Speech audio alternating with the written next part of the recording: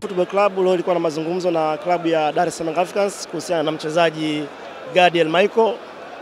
Kwa kifupi ni kwamba Yanga walikuwa wanamhitaji Gadiel Michael, lakini kulikuwa bado hatujapata mwafaka kati ya sisi na wao, na muda mrefu walikuwa wanazungumza, wanamtaka wanamtaka kupitia vyombo vya habari,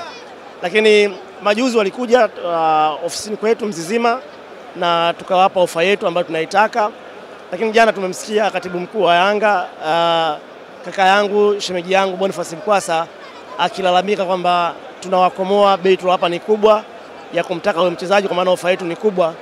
Lakini jana hiyo hiyo tumewajibu Yanga kwamba waje kwenye meza mazungumzo, na sisi kama Azam Football Club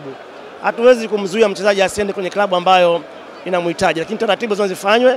Tumezungumza na Yanga ni kwamba tumewapunguzia katika ile ofa ambayo tumewapa, tumewapa nusu yake waje walipe na wamchukue Gadiel Michael. Kwa hiyo Yanga leo hii walikuja kupitia kwa mwenyekiti wao wa usajili Hussein Nyika na tumeweza kufanya mazungumzo mazuri, tumeafikiana. Naongea na wewe ni kwamba uh, Gadiel Michael ni mchezaji halali wa Dar es Salaam Africans, kwa maana tushampa release letter ya kwenda kwenye klabu ya Yanga na mazungumzo yamekwenda vizuri.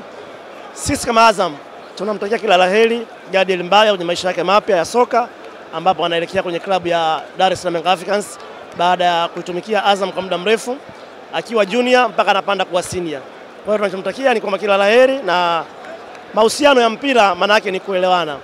Yanga walikuwa wanalalamika kwamba wachezaji wengi tunawapa Simba na tunawapa bure, wao wao wamemtaka Gadiel kwetu kwamba tumewaambia hela nyingi, ila tunawaambia wana Yanga ni kwamba wachezaji wote walioondoka Azam Football Club msimu huu